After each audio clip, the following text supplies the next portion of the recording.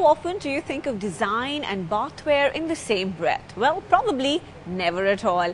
In fact, you need to change that way of thinking because design in the most intimate corners of our home is undergoing a sea change. So much so that German brand Hansgrohe brought down world-renowned architect and designer Patricia Urquiola to India to launch a bathware collection.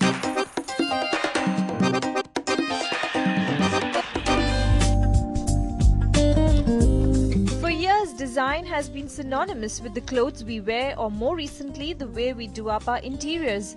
And talking about interiors, it usually is restricted to our bedrooms, living rooms or even the bathrooms.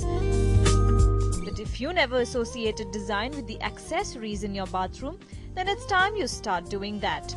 Well-known Spanish designer Patricia Urquiola, winner of several accolades in the design space, has now launched her bathware collection named Axor Urquiola in India. To find out more, we got her chatting. First up, tell us what was the idea when you were designing the Axor Urquiola collection? For me, the, the, the, first idea was to work with someone that had a, um, an idea not of luxury collections, but an idea of quality collections for anything, any apply I could do for them but we will do products that they will take care of water. then uh, after five years, each, uh, I want that any or 15 years, they, they are working perfectly. Your uh, collection, the Axor Urquiola collection, has been called a bathroom for the senses. What are your thoughts on that? Our rule as designer is always to, to move the limits of the, the company in many sense, in a technological way, but in a, a cultural way and in a, in a sensual way. Then uh, I tried my best and uh, having um, um, a taste in the way you, you can touch all the tabs uh, and the way you can have relation with all the the, the bathtub and other elements. We've also seen a lot of nature elements being added to your uh, designs. So what is the idea behind that? Nature can be important. It depends on the idea of the project but tendenциally the bathroom has, is, uh, is the place in home when we are more, where there is more intimacy.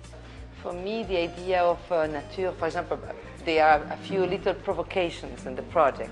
For example, the way we were presenting the bathroom, saying if you have some plants in your apartment, uh, take, put them on your bathroom or in your kitchen when you have water and when you take care of you take care of them no again uh, when you design a bathroom uh, we've seen that your uh, designs are very you know blurry boundaries and they, they don't they don't divide a room and a bathroom like separately. So how how do you think that works? As architects uh, to think um, to propose to the clients to have to, to move a little bit the boundaries no?